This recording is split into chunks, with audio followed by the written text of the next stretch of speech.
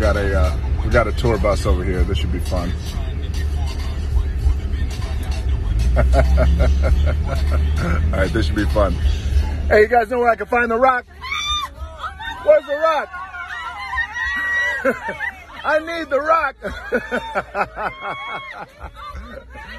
hey, hey.